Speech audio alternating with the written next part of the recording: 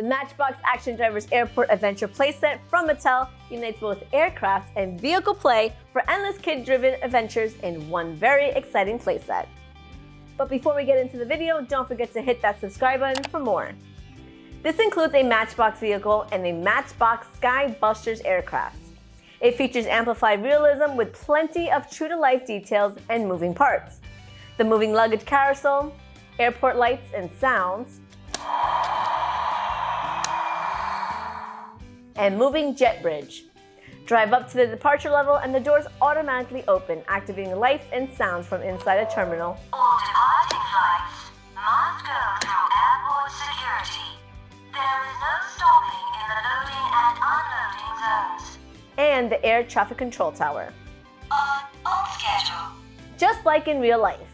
As the plane taxis the runway, it automatically changes the light details to indicate it's cleared for takeoff. This is fun for kids who love cars and airplanes ages 3 and up.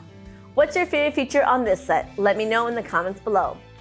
My pros, the playset connects to other Matchbox action drivers and Hot Wheels city sets.